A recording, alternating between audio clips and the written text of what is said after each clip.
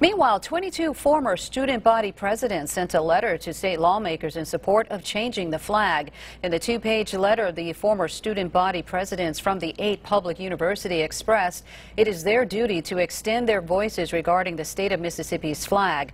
They further added how students from across the state, country, and globe come to these institutions to gain a premier education. But the group said that the state's unwillingness to embrace a future that all Mississippians can be proud of hinders the economic and professional opportunities within the state. Now, that letter came on the heels of the presidents of Mississippi's eight public universities who signed a letter last week in response to the NCAA's position to the state flag. You may recall that leaders from all of the state's public universities said that they agree with the NCAA uh, AA's decision. A joint statement from the leaders said in part that they are committed to continuing to do our part to ensure Mississippi is united in its pursuit of a future that is free of racism and discrimination. And such a future must include a new state flag.